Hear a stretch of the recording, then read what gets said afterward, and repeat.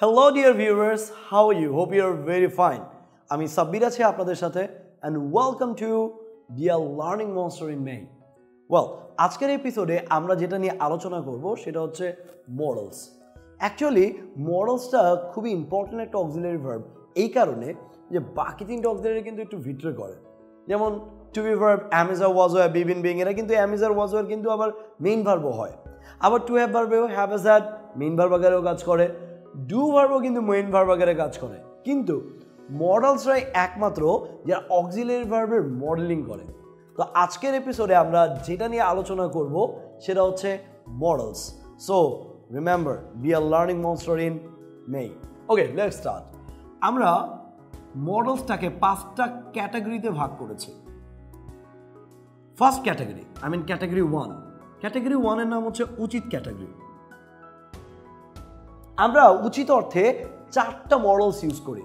Number one should number two ought to number three have to and number four must এখন আপনারা বলবেন have to R must আমরা অবশ্যই অর্থে use করি। হ্যাঁ এই দুটাকে শুধু উচিত অর্থে ইউজ করি, আর এই দুইটা উচিত, কিন্তু অবশ্যই অর্থে আমরা ইউজ করে থাকি।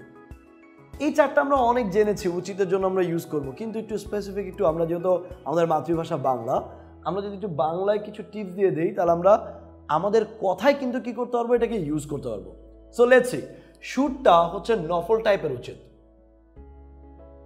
আর অট্টটা নৈতিক টাইপের উচিত এখন নফল যারা মুসলিম বাদে হিন্দু, খ্রিস্টান এবং বুদ্ধিস্ট আছেন নফল হচ্ছে আমাদের মুসলমান ধর্মের এমন একটা নামাজ বা এমন একটা কাজ যেটা করলেও ভালো, না করলেও সমস্যা নেই। মানে নফল টাইপের উচিত।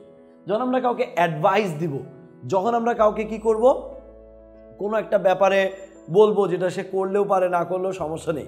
তখন সেক্ষেত্রে হবে কি? Should you should come to office everyday on time আপনি কাউকে বলতেছেন you should practice English everyday you should meet me everyday যখন আপনি কাউকে অ্যাডভাইস দিচ্ছেন বা কাউকে কোনো কাজ করতে বলছেন যেটা করলে ভালো, না করলে ক্ষতি নাই, তখন সেক্ষেত্রে হবে কি should our authority should develop it লেসে নৈতিকের ক্ষেত্রে কী হবে? যখন আমাদের নৈতিক টাইপের কোনো উচিত হবে, সেক্ষেত্রে আমরা ইউজ করব ought to I ought to respect my superiors I ought to respect my parents I ought to respect my boss and I ought to come to office on time let's see have to এবং মাস্টার ক্ষেত্রে কী হবে? এই দুইটা অবশ্যই অর্থে use করব আমরা।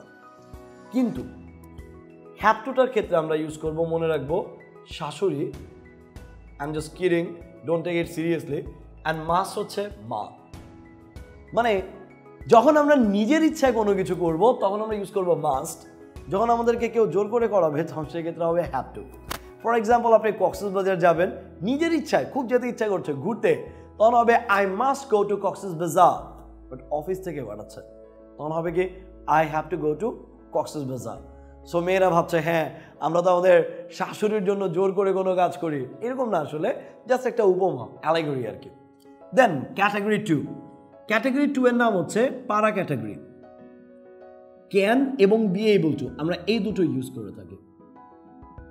এই ক্যান আর বি এবল টু অ্যাবিলিটি অর্থে, যদি সামর্থ্য অর্থে আমরা বোঝাই, সেক্ষেত্রে আমরা ক্যান ইউজ করব। I can speak in English আপনি কাউকে জিজ্ঞাসা করছেন can you cook noodles can you communicate with others can you communicate properly can you impress the audience আপনি বলেন yes I can impress the audience এই যে আমরা অ্যাবিলিটি অর্থে যখন কোনো কিছু পারি বলি, তখন সেক্ষেত্রে আমরা কি ইউজ করব? ক্যান আপনি কাউকে জিজ্ঞেস করছেন ক্যান ইউ কুক সে বলল obviously I can cook very well এই বি এবল টুটাও ক্যানকে ক্যানের পরিবর্তে বসতে পারে। কীরকম? I am able to cook I am able to speak in English I am able to pronounce properly কিন্তু বি এবল টুর আমরা নেগেটিভ ফর্মটা স্পিকিংয়ে বেশি ইউজ করি। সেটা হচ্ছে বি আনএবল টু ধরুন আপনি রান্না করতে পারেন না। আপনি বলছেন am unable to cook am unable to communicate properly am unable to speak in English যখন আপনি পারেন না, সেক্ষেত্রে ইউজ করবেন be unable to category three category থ্রির নাম হচ্ছে ভদ্র ক্যাটাগরি আমরা এই ক্ষেত্রে দুটো ইউজ করি। একটা হচ্ছে উড আরটা ইউজ করি কুড আমরা মনে করি যে ইউ মানে তুই, তুমি, আপনি, সবই হয়। কিন্তু ব্রিটিশরা পোলার এক্সপ্রেশন আকারে উড আর কুডটা ইউজ করেছে। যদি আমরা উড আর কুডের পরে ইউ বসাই কোয়েশ্চেন করার ক্ষেত্রে, তখন সেই উড আর কুডটাকে আমরা ভদ্র মডেল বলতে পারি। কেমন? Would you please help me could you please help me would you please give me your fan could you please give me your fan এটা হচ্ছে খুব ভদ্রতার সাথে যদি আমরা কারও কাছে কোনো কিছু চাই। Could you please help me would you please help me so একটু খেয়াল করে দেখেন, এই উড আর কুডটাকে আমরা ইউজ করতে পারি ভদ্রতার ক্ষেত্রে। আমরা যদি বলতাম do you have a pen আপনার কাছে কি একটা কলম আছে? তোর কাছে কি একটা কলম আছে? তোমার কাছে কি একটা কলম আছে? যা বাট যখন বলব could you have a pen অথবা could you please give me a pen তখন কিন্তু দয়া করে এবং আপনি বোঝাবেন। Next category category number four category number four হচ্ছে ফিফটি ফিফটি এই ফিফটি ফিফটিতে দুটো আছে, একটা হচ্ছে মেই আরটা হচ্ছে মাইট ফিফটি ফিফটি মানে কি? হতেও পারে।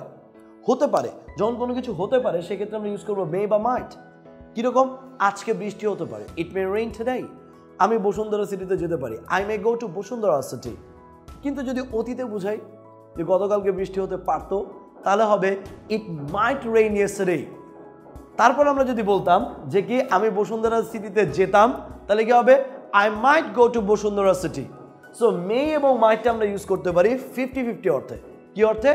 Fifty fifty last last category যেটা category number five category number five হচ্ছে ভবিষ্যৎ ক্যাটাগরি এই ভবিষ্যৎ ক্যাটাগরিতে উইল আছে এবং আরেকটা আছে বি গোয়িং টু যখন আমরা নর্মালি কোনো কিছু ভবিষ্যৎ অর্থে ইউজ করব, তখন আমরা ইউজ করব উইল কীরকম? I'll watch the video I'll watch your all videos in me I'll watch your all videos of video answers I'll listen to music tonight I'll go to Cineplex to watch a movie I'll buy a খা I'll buy a new flat যখন আপনি ভবিষ্যতের যে কোনো কথা বলতে যাবেন, সেক্ষেত্রে উইল ইউজ করতে পারেন, অথবা টাইম ইউজ করে যেমন I'll go to my home district tomorrow I'll go to my home district the day after tomorrow I'll build a new house for me. I'll start my own business. Then at that time you can use will. But when will use be going to?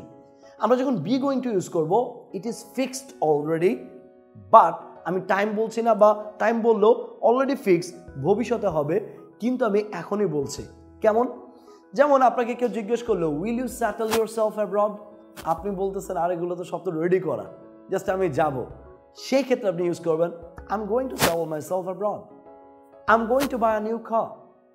I'm going to buy a new flat. I'm going to join in 3-in-1 course of English A to Z.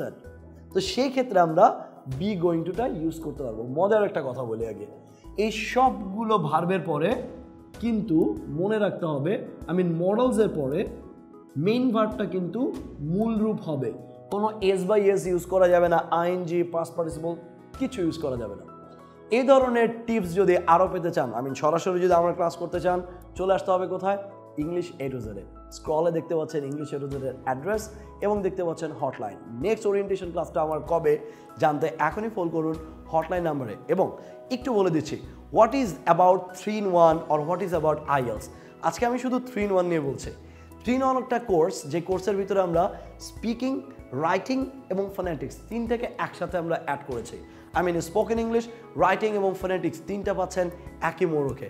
এবং ত্রিশটা class তার সাথে একশোটা practice class I mean course শেষেও পাচ্ছেন ছয় মাস free language club সাথে থাকছে আরও problem solving class মানে যদি কোনো কিছুতে প্রবলেম ফেস করেন, আপনি প্রাইভেটলি টিচারের কাছে কি করতে পারবেন? সলভ করতে পারবেন। সো দেরি না করে যদি ইংলিশ এ টু জেডে কোর্স করতে চান অবভিয়াসলি এখনই হটলাইন নাম্বারে ফোন দেন।